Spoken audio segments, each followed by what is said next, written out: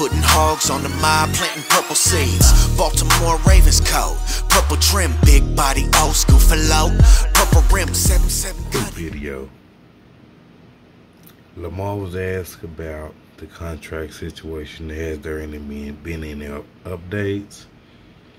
He said no, then he did it like a little grin. Are there any updates regarding your contract situation and talks with the front office?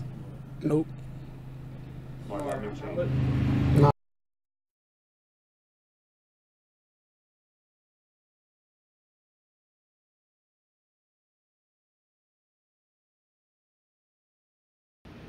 trying to tell y'all, I think that dude signed it already.